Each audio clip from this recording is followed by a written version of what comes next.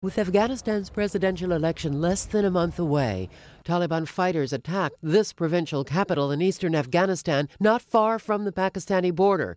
Officials say the assault began when at least six Taliban fighters carrying AK 47s and rocket propelled grenades stormed the area around the city's main police station.